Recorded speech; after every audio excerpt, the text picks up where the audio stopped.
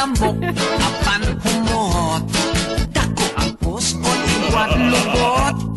Siya kayot ang akong ampay. Bisag babaeng murag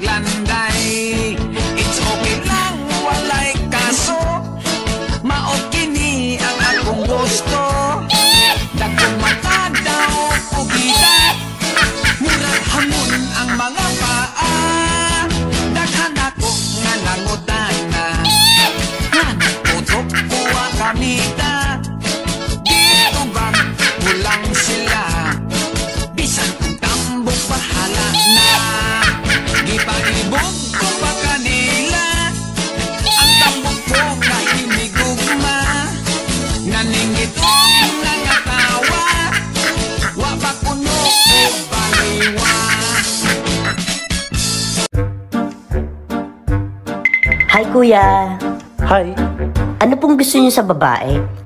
gusto ko yung matipid. Alam mo kuya, candy lang kinain ko kaninang recess. Mas matipid pa. Niluwa ko ulit. Baon ko pa bukas.